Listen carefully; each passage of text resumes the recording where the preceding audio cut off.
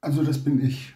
50 Gramm Kalbfleisch, Kartoffeln, Champignon, alles im Bio sowieso, ähm, Gemüse, Steckrüben, Karotten, Porree, Sellerie, Leinenmehl, Kokosmehl, Mandelmehl, Schafskäse, Meerrettich, Gurken. Ja, das ist nicht Böff Stroganoff, sondern das ist äh, la Wolfsburg. Den Namen habe ich noch nicht gefunden. Wenn jemand einen Namen kennt, dann her damit. Ich habe schon probiert, es schmeckt lecker, es ist Joghurt, es ist ein bisschen Kefir. Ja, und es ist ein bisschen Frischkäse mit dabei. Also dann eben halt auch Leinenöl sowieso. Und ja, besser kann ein Essen nicht schmecken.